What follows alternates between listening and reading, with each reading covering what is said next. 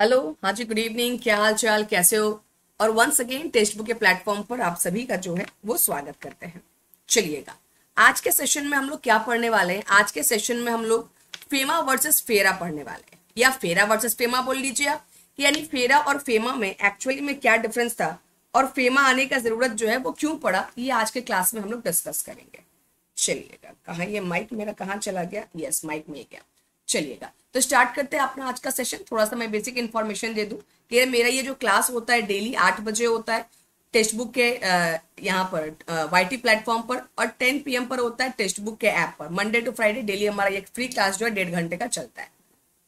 Telegram channel है, इसको आप ज्वाइन कर लीजिएगा ताकि आपको जो मेरे क्लासेस के लिंक है पीडीएफ है नोट्स है, जो भी मैं प्रोवाइड करूँगी, वो आपको टाइम टू टाइम मिलते रहे। और डायरेक्ट इंटरेक्शन भी आप मेरे साथ यहाँ पर कर सकते हैं। डिस्क्रिप्शन में इसका लिंक गिवन है, यहाँ पर बारकोड भी स्कैन भी कर सकते हैं, या हैश ये अंडर ये at the rate Priyanka ma'am text book लिख के मेरे को सर्च भी कर सकते हैं टेलीग्राम पे।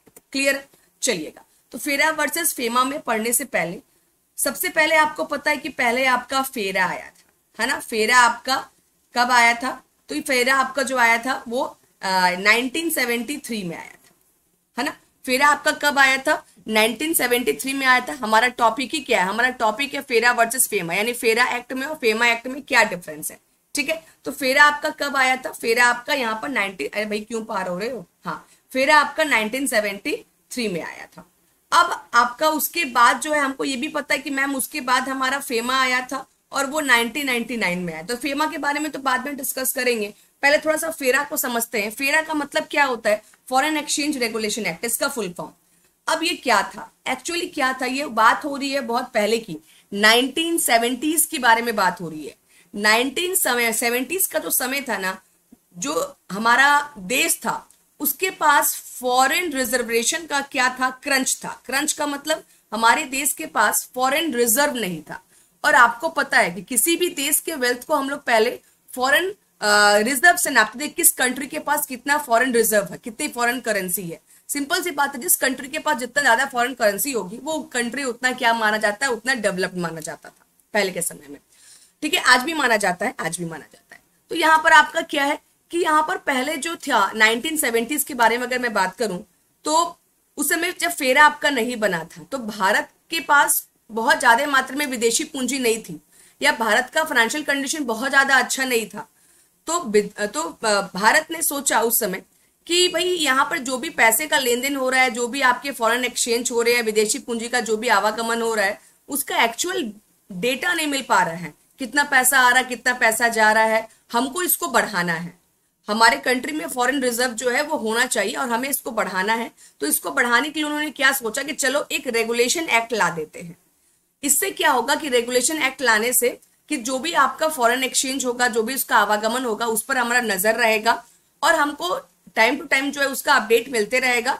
इससे हमारे पास फॉरेन रिज़र्व का जो क्वांटिटी है, वो हमारा इंक्रीज कर जाएगा।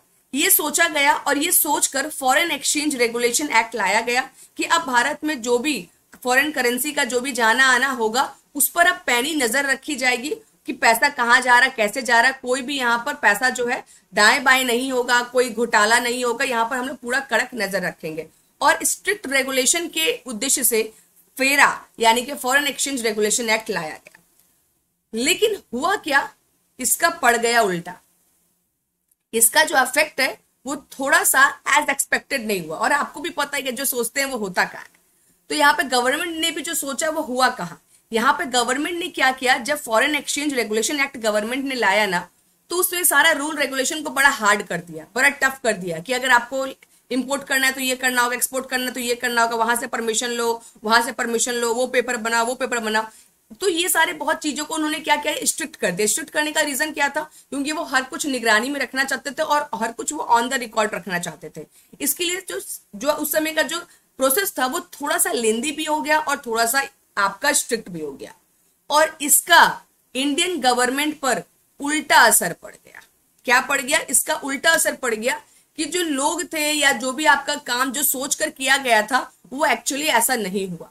हमारा जो फॉरेन एक्सचेंज मार्केट था वो और थोड़ा सा गड़बड़ हो गया। गड़बड़ होने का मतलब कि वहाँ पर लोग अब जो है इतना लेंदी प्रोसेस था इतना रिस्ट्रिक्शन था, था कि लोग वहाँ पर इंपोर्ट एक्सपोर्ट करने आने के लिए डर रहे थे। कि बहुत टाइम टेकन है, बहुत लेंदी चल रहा है। मतलब इंटरेस्ट नहीं ले रहे थे। यहाँ पर मेन रखा गया था कि हमारा फॉरेन एक्सचेंज जो वो इंक्रीज करेगा। लेकिन यहाँ पर जब यहाँ पर लोग ही जब इंटरेस्ट नहीं लेंगे तो फॉरेन एक्सचेंज हमारा इंक्रीज कैसे करेगा? तो रेगुलेशन इतना टफ था ना कि मतलब लोग जो है, ग्रस्त हो गए इससे कि नहीं भाई, मेरे को नहीं करना है। ये वाली बात वहाँ पर होनी शुरू हो गई थी। तो भारत ने देखा कि भैया, हमने जो उद्देश्य से ये बनाया था, वो तो काम ही नहीं कर रहा है। तो इन्होंने क्या बोला? और आपको याद भी होगा कि ये दोनों के बीच में एक बहुत इंपॉर्टेंट चीज़ हुआ था। बहुत इकोनॉमिक एक बहुत इंपॉर्टेंट इकोनॉमिक रिफॉर्म्स आया था। याद है ना? वो कब आया था? 1991 में आया था। तो यहाँ पर इकोनॉमिक रिफॉर्म्स में जो बात की गई थी, क्या कि हम लोग ग्लोबलाइजेशन देंगे, हम लोग छूट देंगे ग्लोबलाइजेशन होगा, ये सब एलपीजी तीन वर्ड यहाँ पर आया था। तो यहाँ पे बोला गया ग्लोबलाइज यहाँ पर हमारा इकोनॉमिक रिफॉर्म्स हो चुका है एलपीजी आ चुका है। एक काम करते हैं ये जो फेरा है ना, इसमें थोड़ा सा चेंजेस करते हैं। ये फेरा का मेरे को आउटकम इतना अच्छा नहीं मिल रहा है। ये रेगुलेशन वर्ड अपने आप में थोड़ा सा हार्ड आपको नहीं लगता है कि कोई आपको रेगुलेट कर रहा है? मतलब स्ट्रिक्ट अपने आप में नहीं लग रहा है? बहुत हार्ड है। तो कुछ ऑब्जेक्टिव भी चेंज किए गए, कुछ फीचर्स भी चेंज किए गए और इसके बाद फेमा को लॉन्च कर दिया गया। और फेमा ने फेरा को रिप्लेस कर दिया। कब रिप्लेस किया? 1999 में फेमा ने इसको रिप्लेस कर दिया। और बोला गया कि अब हम रेगुलेशन नहीं करेंगे। हम अब रेगुलेशन जो है करेंगे ही नहीं, हम मैनेजमेंट करेंगे। जो भी पैसा जा रहा है, आ रहा है हमारे देश से, हम उसका मैनेजमेंट करेंगे, सही से उसको एक खाता वाता बना के, उसको हम सही से लिखेंगे। हम अब रेगुलेशन नहीं करेंगे। जो इंडियन गवर्नमेंट थी, उन्होंने अपना जो ऑब्जेक्टिव है, उसको थोड़ा सा मॉडिफाई किया ताकि बिज़नेस जो है, वो हमारा सही से चल सके और लोग इसमें पार्टिसिपेट करें। तब तो जाके फॉरेन एक्सचेंज हमारे पास आएगा ना। रेगुलेशन तो लोगों को पसंद नहीं आ रहा तो हम मैनेजमेंट करके देख लेते हैं। और बिल्कुल ये ट्रिक काम भी कर गया। फेमा से हमारे कंट्री को फ़ायदा होना भी शुरू हो गया और इंडिया जो है फेमा बनाकर उसने क्या किया? बोला कि हम जो है फॉरेन एक्सचेंज का मैनेजमेंट करेंगे, ठीक है? और 1999 में ये एक्ट जो है आपका आया गया। फेमा जो है वो लाने का ज़रूरत क्यों पड़ा? क्योंकि फेरा जो आपका 1973 में आया था, उसको हम लोग बात करेंगे कब फोर्स में आया, कब नहीं। ये आपका सेटिस्फैक्ट्री नहीं रहा। जो सोचकर हम लोगों ने किया ना, उसका रिज़र्व जो का जो पोजीशन था, वो सेटिस्फैक्ट्री नहीं रहा। तो इस केस में हमको क्या करना पड़ा कि आपका फेरा को बंद करना पड़ा और फेमा को लाना पड़ा। क्योंकि जो ऑब्जेक्टिव मैंने सोचा था, वो ऑब्जेक्टिव अगर फुलफिल हो गया रहता तो कुछ चेंज करने का ज़रूरत ही नहीं पड़ता, लेकिन फुलफिल हुआ नहीं तो मेरे को चेंज करने का ज़रूरत यहाँ पर पड़ गया। अब आ जाइए इसके कंपैरिजन में देखिएगा अब कंपैरिजन बात समझते जाइए। बेसिक समझ में आ गया ना? सबसे पहले फेमा ये कहाँ से आ गया? 2000 इसको हम लोग एक्ट हम लोग पढ़ रहे हैं ना तो 1999 बोलेंगे, क्योंकि मैं आपको एक्ट बता रही हूँ। चलिए, अब वन बाई वन इसको समझिएगा। पार्लियामेंट में फेरा को कब पास किया गया? 1973 में पार्लियामेंट में फेरा को पास किया गया। उसके बाद फेमा ओहो सॉरी उल्टा हो गया। स्टार्टिंग ही गलत हो गया तो ध्यान दीजिएगा। यहाँ पर आपका फेमा है, यहाँ पर आपका फेरा है। ये थोड़ा सा मैंने इधर उधर कर दिया, मैंने ध्यान नहीं दिया। मुझे लगा स्टार्टिंग फेरा है और उसके इधर फेमा है, कोई बात नहीं, देखिएगा। तो यहाँ पर जो आपका फेरा है ना, ये आपका कब आया था? तो फेरा आपका आया था 1973 में, पार्लियामेंट एक्ट में पास कर दिया गया था और फेमा को 29 दिसंबर उन्नीस सौ निन्यानवे को पार्लियामेंट एक्ट में जो है इसको क्या कर दिया गया था कि पास कर दिया गया था। दोनों को पास करने का जो ईयर है, वो आपका अलग अलग कंटेंट के बारे में अगर हम लोग बात करेंगे तो फेमा में आपका 49 सेक्शन है। 49 सेक्शन में 12 सेक्शन जो है वो ऑप्शनल है और रेस्ट जो है वो आपका प्रोविज़न है। फेरा में 81 सेक्शन है और इसमें क्या है 32 सेक्शन जो रिलेटेड है वो आपके ऑप्शनल पार्ट से और रेस्ट जो है वो पेनाल्टी और अपील से है। चलिएगा, थोड़ा सा एक सेकेंड का मेरे को टाइम दीजिएगा ना। एक सेकेंड का मेरे को टाइम दीजिए।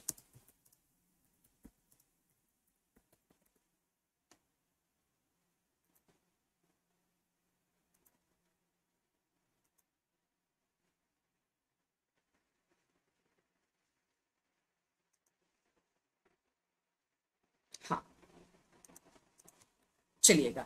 उसके बाद यहाँ पर ये हो गया सेक्शन के बारे में। अब आगे चलते हैं टर्म्स के बारे में। फेरा में क्या था ना? फेरा में कोई टर्म्स को नहीं बताया गया था। फेरा में खाली बोला कि हम लोग रेगुलेशन करेंगे, लेकिन टर्म्स जो है क्या मेंटेन करेंगे, क्या नहीं करेंगे, उसमें कुछ एलोब्रेशन नहीं किया गया था। यानी कोई भी टर्म्स जो है, कोई भी शर्तें जो है, वो परिभाषित नहीं की गई थी। लेकिन जब फेमा आया तो वहाँ पे कुछ कुछ टेक्निकल वर्ड भी आए कुछ कुछ टर्म्स भी आए। यहाँ पर आपको कैपिटल अकाउंट के ट्रांजेक्शन को लेकर करेंट अकाउंट के ट्रांजेक्शन को लेकर, पर्सन, सर्विस, ये सारे टर्म्स आपके यूज़ किए गए। कि यहाँ पे पर्सन का मतलब क्या होता है? ऑथराइज पर्सन किसको माना जाएगा? क्या क्या सर्विस जो है वो फेमा के अंदर आएगा? हम लोग कैपिटल अकाउंट मेंटेन करेंगे और करेंट अकाउंट मेंटेन करेंगे। कैपिटल में क्या आएगा और करेंट में क्या आएगा? ये सब कुछ जो चीज़ें यहाँ पर डिटेल में जो है वो बताई गई थी। तो ये जो कैपिटल अकाउंट टर्म्स और करेंट अकाउंट टर्म्स है, ये फेरा में आता है, फेमा में आता है, ये फेरा में आपका नहीं आता है। सेक्शन फेमा में कितना है? फोर्टी नाइन सेक्शन था, पहले आपका एटी वन था, उसको सेक्शन को कम कर दिया गया और फोर्टी नाइन सेक्शन जो है आपका फेमा के अंतर्गत आता है। चलिएगा, थोड़ा सा आगे बढ़ते हैं। आगे अभी और भी पॉइंट टोटल दस पॉइंट हम लोग कंपेरिजन करेंगे। आगे बढ़ने से पहले थोड़ा सा मैं इन्फॉर्मेशन दे दूँ कि टेक्स्ट बुक के प्लेटफॉर्म पर कंप्लीट कोर्स जो है, वो आपके लिए प्रोवाइड किया जा रहा है।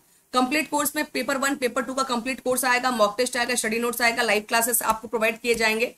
और ये जो आज से ही अभी आपका ऑफ़र स्टार्ट हुआ है. दैट इज़ कॉल्ड आपका सपनों की उड़ान. 20 से 22 जुलाई तक आपका सेल चल रहा है, जहाँ पर आपको एट मंथ का जो कोर्स है, वो only eight thousand eight hundred thirty five rupees में मिलेगा. और ये कब मिलेगा? जब आप मेरा कोड यूज़ करोगे.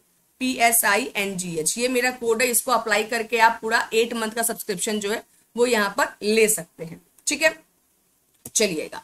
आगे बढ़ते हैं. अब अगेन फेमा और फेरा में और क्या क्या डिफरेंसेस है, इसको हम लोग एक बार देख लेते हैं। देखिएगा, इसका ऑब्जेक्ट क्या था?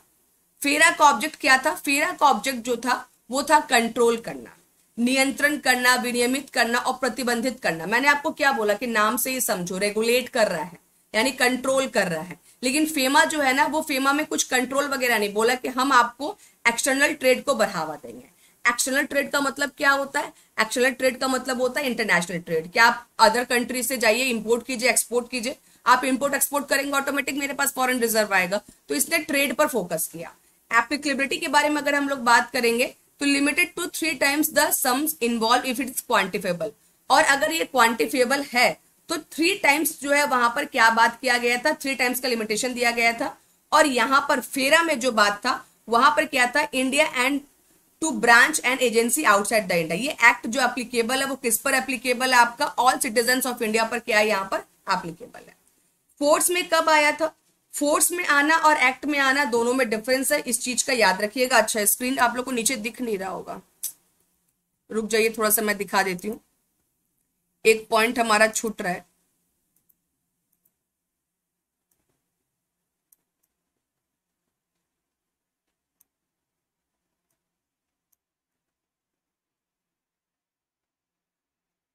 हाँ अब दिख रहा है ना आपको? चलिएगा अब ठीक है। अब ये फोर्स में कब आया? एक तो एक्ट आना होता है और एक फोर्स में आना मतलब उसने काम करना कब शुरू कर दिया? तो फेरा जो फोर्स में था, वो कब आया था? उल्टा हो गया, थोड़ा सा ध्यान दीजिएगा, ठीक है ना?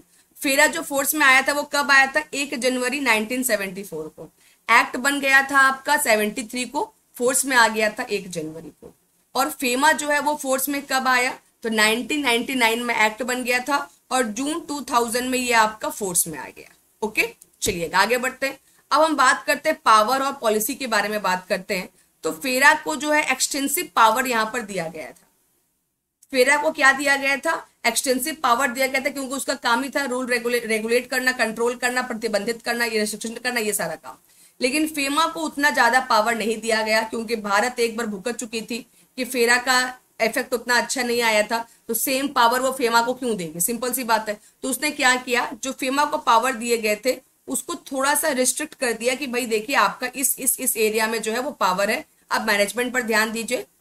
आप इंपोर्ट एक्सपोर्ट पर ध्यान दीजिए। आप एक्शनल ट्रेड को बढ़ाइए। ये सब वहाँ पे लिमिटेशन डाल दिया गया था। ऑथराइज पर्सन का डेफिनेशन यहाँ पर आपका दिया गया। जो फेरा था, वहाँ पर उसका जो लिमिटेशन था फेरा का लिमिटेशन बहुत ही आपका फेरा में पर्सन का लिमिटेशन दिया गया था। पर्सन का मतलब एक बहुत लिमिटेड वे में दिया गया था। लेकिन जब आपका फेमा आया तो उसमें जो पर्सन है, उसको थोड़ा सा इंक्लूड किया गया। मतलब कौन कौन इसके अंदर एक्सटेंड किया गया। उसके अंदर में आपका बैंक भी इंक्लूड किया गया।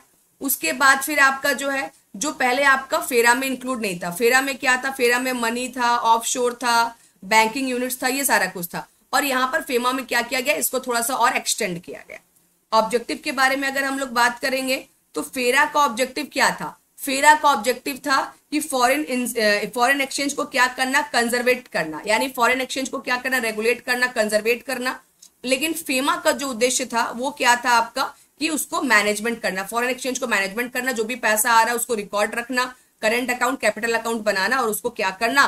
कि मेंटेन करना। तो दोनों का जो पर्पस है, दोनों का जो रोल है, वो क्या था यहाँ पर? अलग अलग रोल और अलग अलग पर्पज जो है यहाँ पर दोनों का देखा गया। तो फेमा और फेरा में आपका बेसिकली ये डिफरेंस है। खाली आपको ये समझना है कि गवर्नमेंट ने पहले फेरा लाया। फेरा के लिए जो ऑब्जेक्टिव रखा था उसने कि हाँ ये होगा कि फॉरेन रिज़र्व जो है वो हमारे इंक्रीज करेगा। लेकिन ऐसा हुआ नहीं क्योंकि रूल रेगुलेशन बहुत सख्त थे। और आपको पता है कि आज के डेट में ईज ऑफ़ डूइंग बिज़नेस का कॉन्सेप्ट चल रहा है। है ना? हम लोगों ने पढ़ा भी है ईज ऑफ़ डूइंग बिज़नेस कि जितना इजी से इजी आप बिज़नेस को लेकर जा सकते हैं उतना ज़्यादा आपके लिए वो क्या होगा? अच्छा होगा। तो ये वाला जो कॉन्सेप्ट है, आपका फेरा काम नहीं आया तो इसीलिए फेमा लाया गया और फेमा काम कर गया, क्योंकि उसका मेन फोकस इंटरनेशनल ट्रेड पर ही था कि ट्रेड बढ़ाओ ट्रेड बढ़ाओ ट्रेड बढ़ाओ। ट्रेड बढ़ेगा या एक्सपोर्ट आपका जो है, वो आपका ज़्यादा होगा तो ऑटोमेटिक फॉरेन रिज़र्व हमारे पास आ जाएगा। ठीक है? तो चलिएगा, यहीं तक आज का जो सेशन है, इसको रखते हैं। जो सारे अपडेट है, वो आपको मेरे टेलीग्राम चैनल पर मिल जाएँगे। सारे अपडेट्स के लिए टेलीग्राम चैनल को ज्वाइन कर लीजिए मेरे टेलीग्राम चैनल का लिंक डिस्क्रिप्शन में मैं डलवा दे रही हूँ। डिस्क्रिप्शन से आप जाके उसको क्या कर सकते हैं, डायरेक्टली ज्वाइन कर सकते हैं, या इसको आप जाके स्कैन कर लीजिएगा तो भी आप इसको ज्वाइन कर पाएँगे। Okay bye bye take care all the very best bye bye